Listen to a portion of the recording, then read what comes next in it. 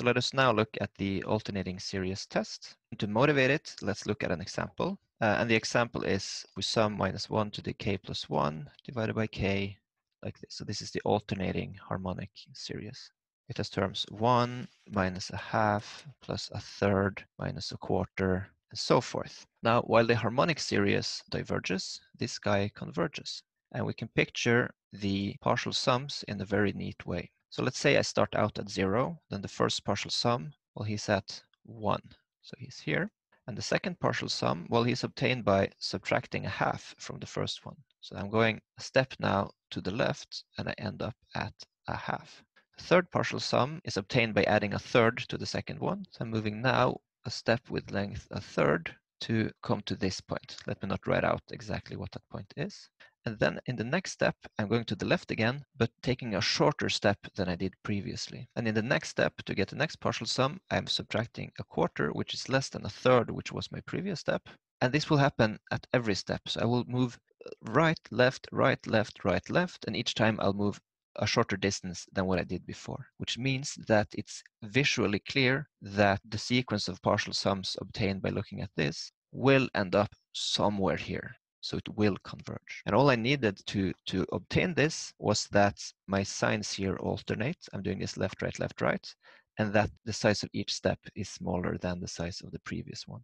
And of course, I would need the steps, the size of the steps to go to zero. And that, in the general sense, is enough to get convergence of, of um, anything behaving like this. So let's now express this as a proposition. So this is the alternate series test. It says that if you have positive coefficients here, uh, I'm going to put the alternating sign in soon, and these guys go to zero, then this implies that the sum where I take my, these positive AKs and then I flip the sign at every step, I can do K here or K plus one. So starting at one here, I would do K plus one because then my first guy is positive. So that's just for convenience. Then this guy converges.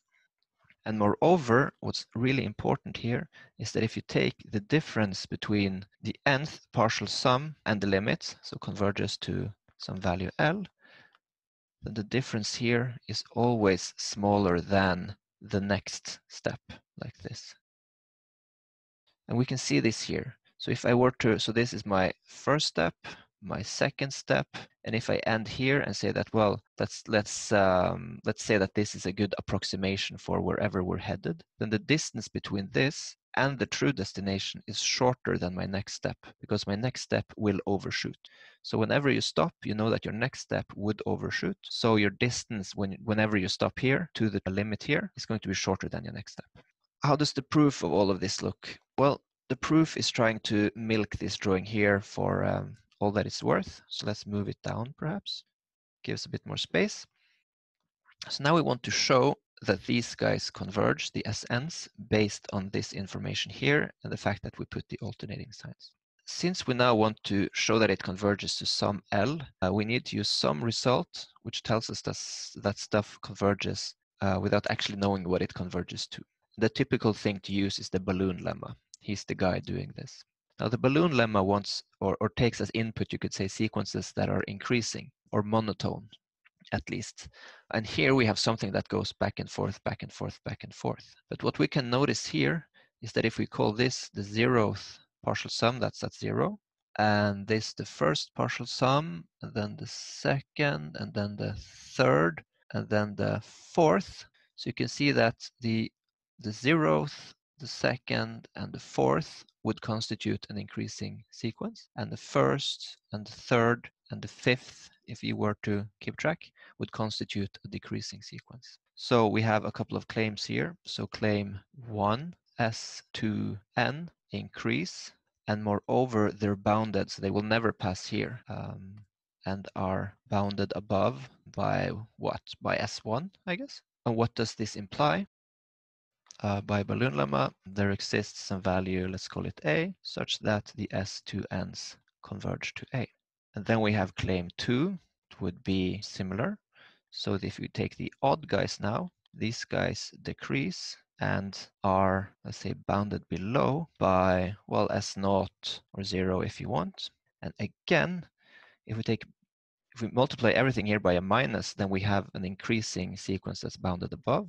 So again, we can apply the balloon lemma. so by balloon lemma, there exists a B such that the S2n plus 1s converge to B. And what can we do now? Well, the next claim would be that the S2n's and their neighbors S2n plus 1, that their difference, so I don't care if it's positive or negative, so I just do the absolute value for this reason, tends to 0 as n goes to infinity, and that this means that A is equal to B, which we then can call L. So this reveals to us who L should be. It's the common value of these two guys. So we're now just choosing to call this L. This also lets us deduce that the original series converges to L. Here again, we, we can collect a fact that we need to prove when we have the formal definition of the limit. So if we have S1, S3, S5 converging to L, and we have S2, S4, X6, S6, and so forth converging to L, then this means that S1, S2, S3, S4, and so forth converge to L. But from this claim here, we basically have that the full sequence of partial sums converge to L, and we can conclude that the alternating series is converging. So that's like a, a general statement on limits that we can take care of later.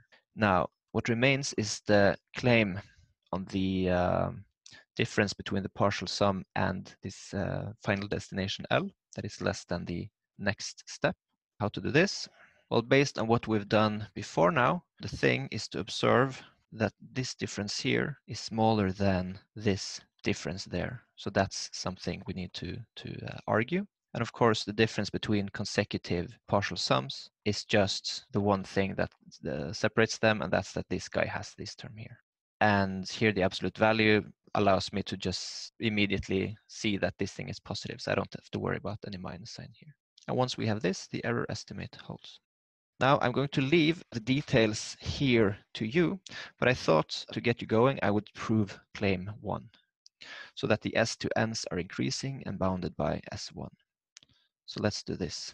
So proof of claim one, which was that S2n increasing and bounded by one. I can write this so S2n less than or equal to S1. So how to see this? Well, to see that this is increasing, I basically have to do s to n plus 1 minus s to n and see that this difference here is positive. And if I write out this difference, what do I get? Well, this partial sum contains everything that this one does, except this one has two extra terms. What is this equal to? Well, in order to get the signs right, let's write it out uh, exactly. So it looked like this. So here we have the sum of minus 1 k plus 1 a k all the way up to 2n plus 2. Let's not care where we start. And then here we do get exactly the same thing, but we're going only up to 2n. Same thing here. So what does this give us? So this gives us this thing here for 2n plus 1 and 2n plus 2. So I get, and this thing here is an odd number. So I have the minus sign here. And this thing here is an even number. So I get the plus sign here. And here I can recall that what. So in fact, now I notice an error that I made up here. So I said that this goes to zero. That's not enough. So when we get down here, what I need is that that guy here is bigger than that guy here. So I need, or rather, I, I need that this guy is smaller than that guy because that's exactly what's going to give me this. But this means I need a2 n plus 2 to be smaller than a2 n plus 1. And the fact that the an's tend to 0 won't give me that. So I need here that this tends to 0 and ak decreasing. So I need all of the ak plus 1s to be smaller than the ak's for every k. If not, I'm screwed. Okay, you can try to construct a counterexample uh, to see why. Any case, so now I fixed that.